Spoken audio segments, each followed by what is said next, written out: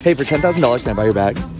Really? For $10,000? Honestly, it's worth it. I can show you why. Yeah, let's go. It's my 40 ounce hydro flask. Fits up to a 16 inch laptop. Main compartment that fits a bunch of stuff. Plus a hidden pocket to hold my wallet. Quick side zip to reach anything at the bottom of my bag. Luggage passes so your bag never falls off your suitcase. Discreet pocket that perfectly fits your phone or passport. And a front organizer that also has a keyring.